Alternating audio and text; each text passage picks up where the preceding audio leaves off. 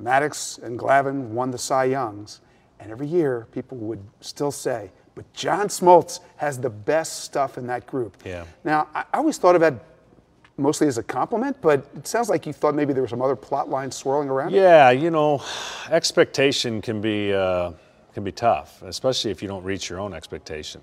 I think I exceeded what I thought I could do based on the limitations I had, and then when I was finally healthy, uh, the year I, I went to spring training in 1996, and I, you know, somewhat, I'm not a cocky person, so this might have caught them by uh, by guard, off guard. I said, I'm going to win Cy Young this year. I remember that. And I, I said, Maddux's run is over. I, I, and the coach, I told all the coaches, I said, this is my year. It's the first spring training and first off season. I did not have to rehab like crazy.